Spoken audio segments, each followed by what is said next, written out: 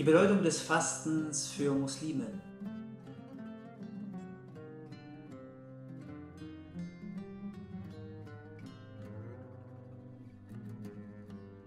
Wenn Muslime im neunten Monat des islamischen Mondkalenders, das heißt im Ramadan, fasten, dann erfüllen sie eine der wichtigsten religiösen Pflichten im Islam. Jeden Abend zusammenkommen, gemeinsam essen, gemeinsam beten und viele andere Dinge, die man mit der Familie und mit der Glaubensgemeinschaft zusammen erfüllt, können auch Freude und Glücksgefühle hervorrufen.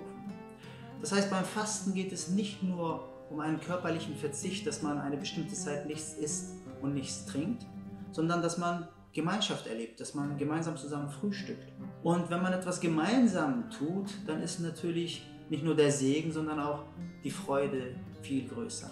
Nicht selten ist es aber so, dass religiöse Traditionen wie zum Beispiel das Fasten bei Menschen, die diese Tradition nicht kennen und nicht schätzen, auf ähm, Unverständnis stößt.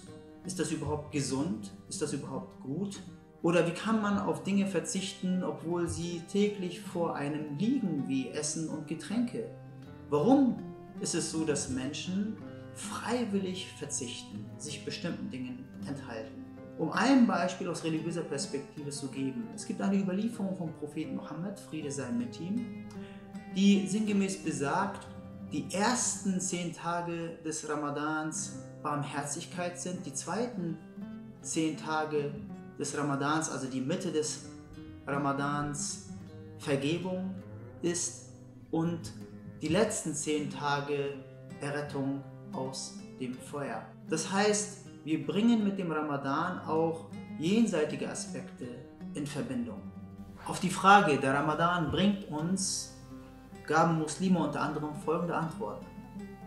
Er bringt uns zusammen. Selbsterkenntnis, somit Gotteserkenntnis.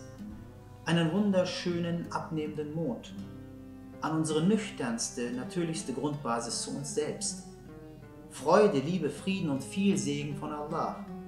Geduld und Einsicht. Segen, Liebe und Barmherzigkeit. Näher zu Allah.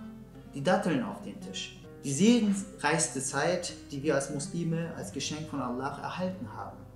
Die Möglichkeit, durch einfache Taten, die durch starken Willen und tiefen Glauben ausgeführt werden, die Gnade Allahs zu erlangen, Vergebung für unsere Selbstsucht, Disziplin, Zusammenhalt und eine wunderschöne Zeit voller Hasanat, voller guter Taten, Erfolg im Diesseits und im Jenseits, Stärke und innere Ruhe oder nichts, wenn wir nichts daraus machen. Wir leben in einer Gesellschaft, wo viele Menschen diese Tradition nicht kennen oder diese Tradition für sie befremdlich ist.